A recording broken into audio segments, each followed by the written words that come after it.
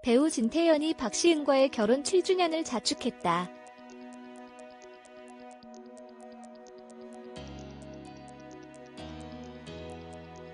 아내와 함께하는 매일매일을 기념일처럼 보내겠다는 그의 진심 어린 마음이 느껴지는 글이었다.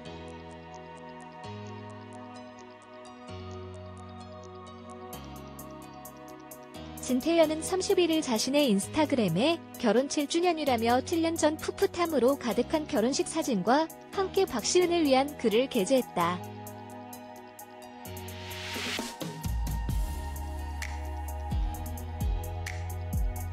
이어 그는 늘 약속했듯이 기념일을 기념하지 않고 자기와의 매일매일을 기념할게라며 책임과 노력과 표현과 행동으로 사랑할게.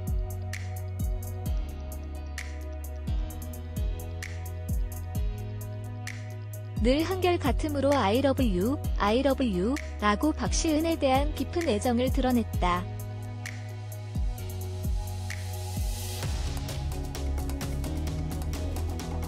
박시은 역시 인스타그램을 통해 결혼 7주년을 축하했다.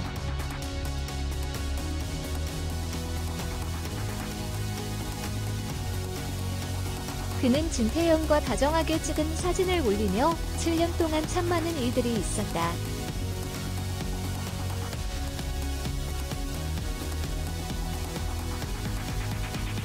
앞으로 7년은 또 어떤 일들로 채워질지 미리 감사하며 설렘과 기대하는 마음으로 다시 시작해보자.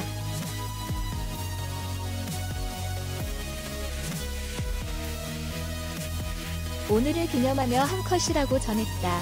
한편 박시은과 진태현은 2010년 방송된 SBS 호박꽃 신장으로 인연을 맺어 2015년 7월 31일 결혼했다.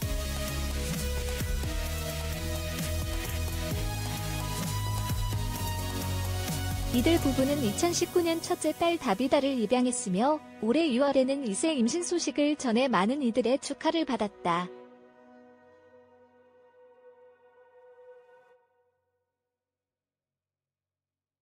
아울러 박시은 진태현 부부는 지난 25일 방송된 동상이몽이 너는 내 운명에서 첫째 딸 다비다를 입양할 당시 엄마의 성, 성인 박씨를 물려줬다며 곧 태어날 둘째 딸에게도 같은 성을 물려주겠다고 밝힌 바 있다.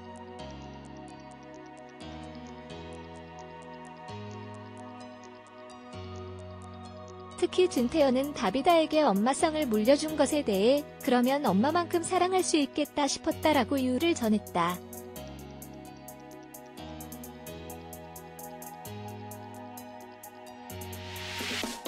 서은의 프리랜서 기자 허프 커리어의 찜메일